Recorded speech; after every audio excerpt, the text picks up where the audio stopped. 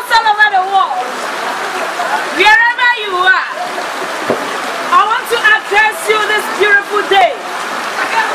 This is a prophecy come to pass that you can see.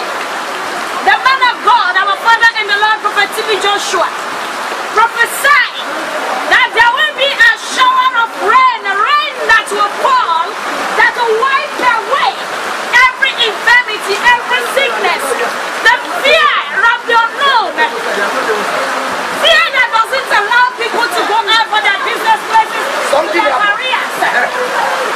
He said rain, shower of rain.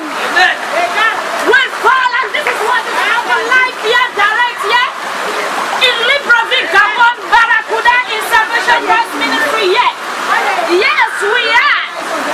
In Salvation Ministry New Generation.